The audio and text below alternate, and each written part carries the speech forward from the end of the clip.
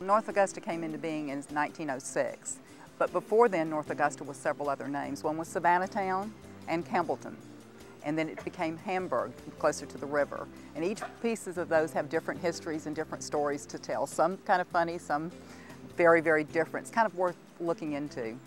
I moved from, North, from Augusta to North Augusta 25 years ago, and I was always told there was a dragon in the river that came out to get you. And I've not seen a dragon. We're doing a lot of partnerships with Augusta now. I work with different historical sites over there and with different organizations. And I think they're kind of really jealous of us because we've done so much more with our riverfront and what we're doing with the development of downtown. If you don't tell the story and you don't talk about the history, it will die.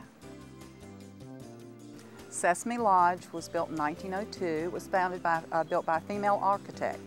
Actually, her father was the builder, and he was an aide to General Wade Hampton during the Civil War.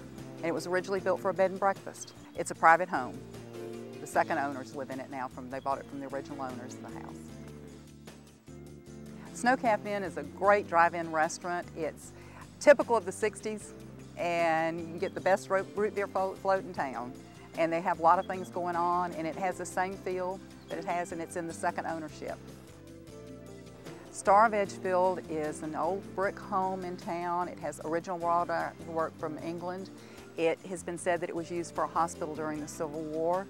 It's a beautiful old structure. Palmetto Lodge was originally built by Edison Marshall and it was actually a hunting lodge for gentlemen in the area. When the Hampton Terrace Hotel was in its heyday here, the gentlemen had a place to actually go and be a, a refuge in a hunting lodge. And it's since been changed several times into been different things, restaurants and everything.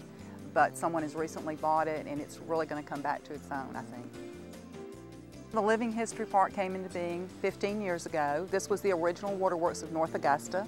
It was kind of a banded area, left totally for just nothing and was uh, totally overgrown and a group of volunteers came in and got the park, asked the city if we could have a resolution to restore the park and make it into a living history site. And we've been working on a total of, this is our 16th year, and we have events four times a year down here, and everything we do is free, and it's very educational. And we've really taken, this we call this Central Park in North Augusta, a little small piece of Central Park and a small piece of Colonial Williamsburg. And when you come to North Augusta, you really, really need to see the Greeneway and our activity center. It's just a wonderful piece of property and you can always find something to do. It's more of a recreational town and it's a great place to walk your dogs and just to, to have a really good weekend. Please come see North Augusta so you can see all the wonderful things we're doing.